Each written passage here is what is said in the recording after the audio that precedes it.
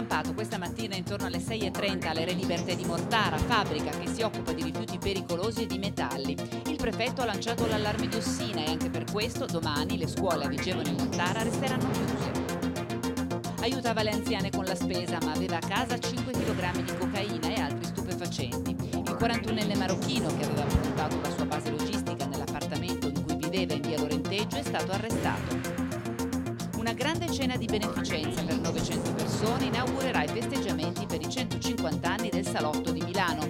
Già venduti tutti i biglietti. 300.000 euro andranno alla Caritas. Schiacciato da un braccio meccanico all'interno della ditta di Settimo Milanese in cui lavorava, è morto sul colpo un operaio 42enne di origini filippine. È la terza morte bianca in tre giorni.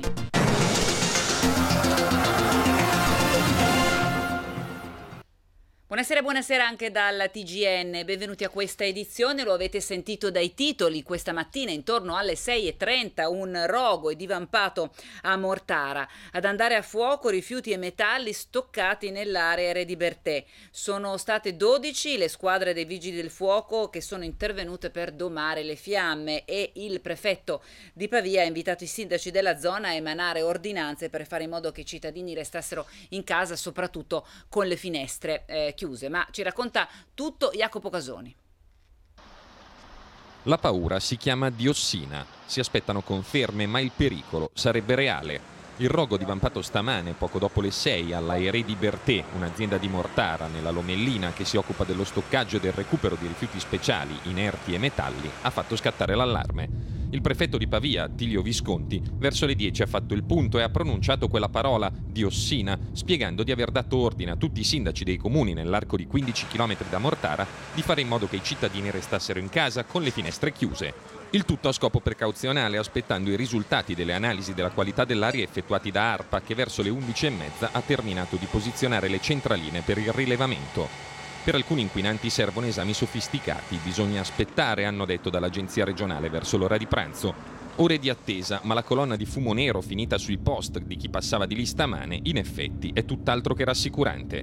A Vigevano in tarda mattinata è comparsa una nuvola piatta e scura a bassa quota con il sindaco che ha firmato un'ordinanza per la chiusura delle finestre e il divieto di raccogliere frutta e verdura dagli orti. Una mattinata convulsa con 12 squadre dei vigili del fuoco provenienti anche dal capoluogo lombardo e da Vercelli impegnate nelle operazioni di spegnimento rese più difficoltose dai cali di pressione nelle tubature e dal numero esiguo di idranti presenti nell'area. Le autobotti hanno dovuto rifornirsi in quattro punti diversi di Mortara e in alcuni paesi limitrofi, nelle immagini girate da un testimone e postate su Facebook si nota il cumulo di rifiuti in fiamme nello spiazzo della Re di Bertè destinato allo stoccaggio, una montagna di scarti di ogni tipo, tra cui anche pneumatici, plastica e alluminio. Sono in corso le indagini per accertare le cause del rogo, mentre è emerso che proprio oggi era prevista la visita ispettiva semestrale dell'ARPA presso lo stabilimento di Mortara. Questa sembra una coincidenza davvero eh, assurda. Intanto comunque le autorità hanno disposto che le scuole a Mortara e Pavia domani, Vigevano, scusate, Mortara e Vigevano, domani che le scuole eh, saranno chiuse proprio per evitare qualsiasi eh, tipo di eh, rischio. Ora la cronaca, veniamo a Milano, ehm, aveva quasi 5 kg di cocaina in casa insieme ad altri eh, stupefacenti e questo è stato l'esito di una perquisizione di un appartamento in zona Lorenteggio dove un marocchino di 41 anni aveva approntato la sua base per lo spaccio, ma pensate nella zona l'uomo era celebre non in quanto possibile spacciatore, ma perché aiutava le anziane a fare la spesa, una sorta di spacciatore gentiluomo. Vediamo. Un gentiluomo, sempre disponibile, pronto addirittura ad accompagnare alcune signore anziane del suo palazzo a fare la spesa. Peccato che dietro i sorrisi e i gesti così a modo, il 41enne marocchino arrestato ieri dagli agenti del commissariato Lorenteggio nascondesse un'attività di spaccio di tutto rispetto. In realtà l'uomo è irregolare in Italia e ha precedenti specifici, come confermato dalla polizia durante l'odierna conferenza stampa. Nel 2015 ha scontato 4 mesi di carcere per il possesso di 5 kg di eroina. Lo hanno pedinato e dopo una serie di appostamenti, tra l'altro senza fare ricorso allo strumento delle intercettazioni, gli agenti sono entrati in azione. Appena rincasato, hanno bloccato l'uomo sull'uscio del suo appartamento, identificato dagli inquirenti come il covo principale dello spaccio nel quartiere. Perquisita la casa è arrivata la conferma dei sospetti. Lì veniva tagliata e confezionata la droga. Ma il 41enne aveva anche un altro appartamento in uso nello stesso palazzo e perquisito anche questo vano, gli agenti hanno repertato quasi 4 kg di cocaina, 853 grammi di eroina, 90 di hashish, oltre a tre bilancini di precisione, 8.000 euro in contanti nascosti in un beauty case e tre cellulari. Tutti i panetti di stupefacenti erano sigillati, infilati in palloncini e cosparsi di spray nasale al mentolo, un trucco per depistare i cani, ha spiegato il dirigente Gianni Giammarusti, che ha ricevuto i complimenti del questore Marcello Cardona durante l'incontro con la stampa. Negli appartamenti gli agenti hanno anche rintracciato alcune agende contenenti la contabilità dello spacciatore, che è stato poi accompagnato a San Vittore. In corso gli accertamenti per cercare di risalire ai canali di acquisto e di vendita della droga. Adesso questo episodio, anche questo mh, davvero particolare, perché un dirigente della STIE, che è l'azienda di trasporti pubblici dell'Alto Milanese, con sede a San Vittore Olona, questo è uno degli autobus appunto della STIE, Pensate, aveva consegnato una lettera di richiamo con cui l'azienda contestava a un dipendente il mancato rispetto degli orari di lavoro. Eh, ma per questo motivo, questo stesso dirigente, che si chiama Vezio Guido Buono e ha 53 anni, è stato selvaggiamente picchiato e oggi lotta per sopravvivere in un letto d'ospedale all'ospedale civile di Legnano, eh, dove lunedì è arrivato in pessime condizioni.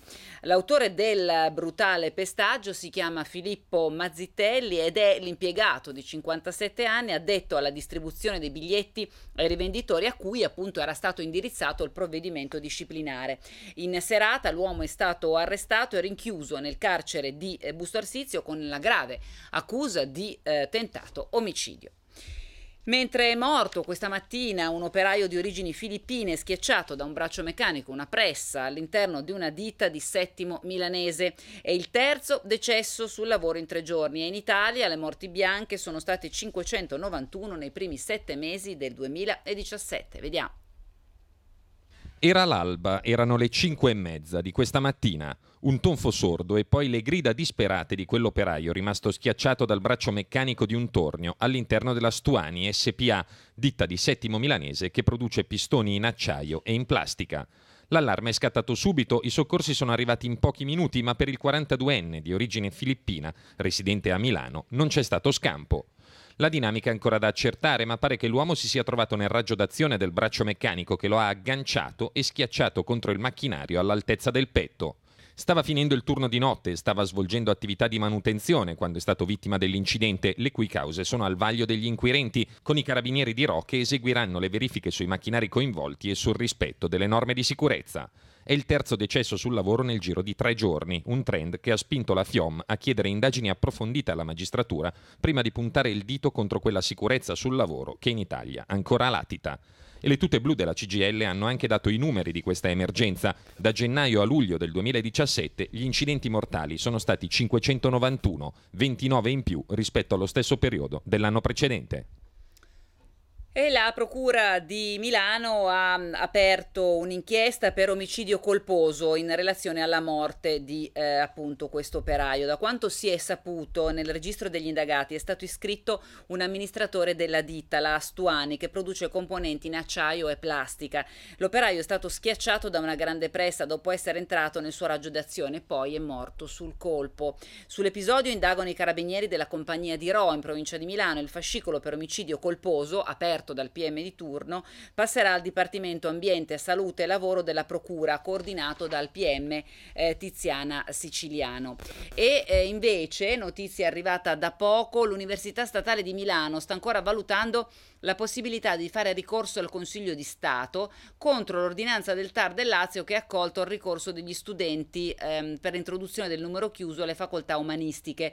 Lo rende noto l'università che però ha precisato come la situazione al momento sia complessa e fortemente condizionata dal nodo dei tempi. La preoccupazione dell'Ateneo sarebbe quella di garantire prima di tutto il corretto avvio delle elezioni che dovrebbero partire alla fine di settembre e questo potrebbe non essere compatibile con i tempi di un ricorso al Consiglio di Stato.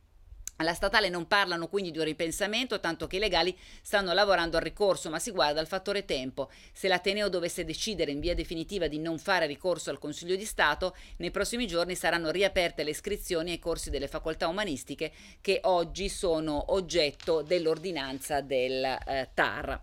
E eh, adesso mh, una notizia che è a cavallo tra l'Italia e la Svizzera. Eh, un uomo questa è la dichiarazione di un uomo davanti al giudice delle direttissime di Milano, un algerino arrestato ieri notte con l'accusa di tentato furto perché sorpreso da un abitante della zona della stazione centrale mentre rompeva il vetro di un'auto con targa svizzera e lo vi stava dietro. Ed ecco, bene, quest'uomo è stato sorpreso sul colpo, è stato arrestato e davanti al giudice l'uomo ha detto io sono un bravo musulmano e perciò non faccio del male agli italiani.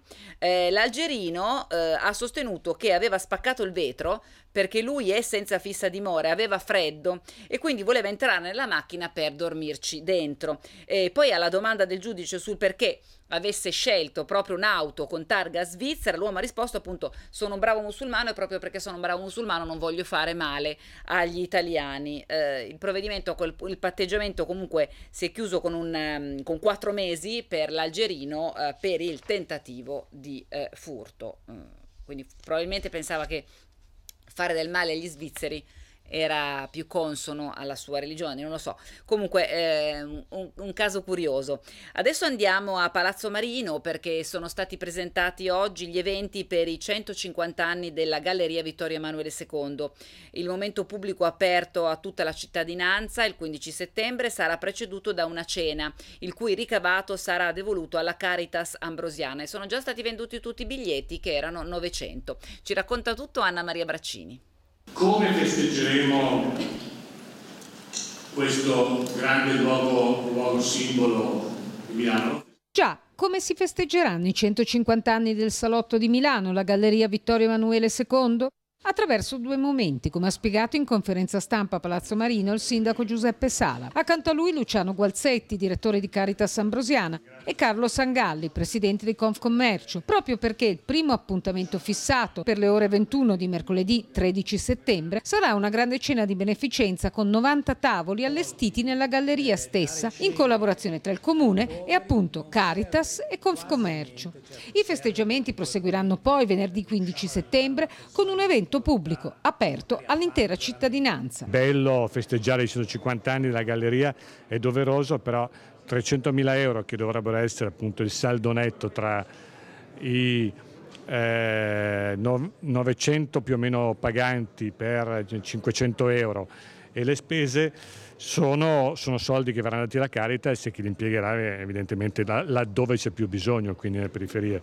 Cerchiamo di non perdere mai occasione per rimanere fedeli al nostro modo di essere. Il menù della cena, ideato dallo chef pluristellato Carlo Cracco, sarà presentato e servito dai ristoranti della galleria, alcuni dei quali compiono anch'essi 150 anni di vita e il ricavato sarà destinato all'iniziativa Cena Sospesa. I posti a sedere sono, sono 900, quindi si presume una raccolta di circa 300 mila euro eh, al netto di alcune spese e queste poi noi le, le utilizzeremo per la cena sospesa che è un'iniziativa che Caritas Ambrosiana insieme a Confcommercio e eh, Comune di Milano promuove ormai dal lontano 2015 quando Durante Expo avevamo coinvolto una trentina di ristoranti con i loro clienti, lasciare un'offerta finalizzata all'aiuto delle persone disoccupate.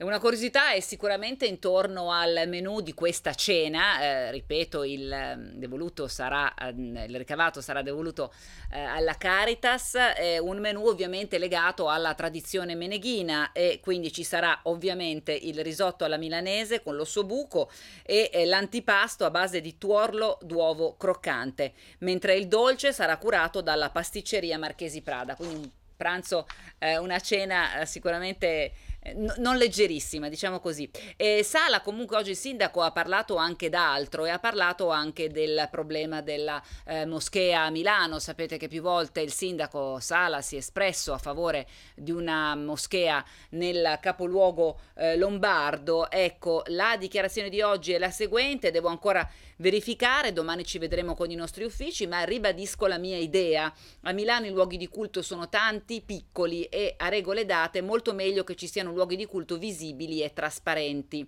Um, queste, questa è appunto la risposta del sindaco sulle prossime mosse del comune sul tema dei luoghi di culto in città. Tutto questo dopo che il TAR ha confermato lo stop al bando dell'amministrazione sull'assegnazione degli spazi, bocciando il ricorso presentato dal CAIM.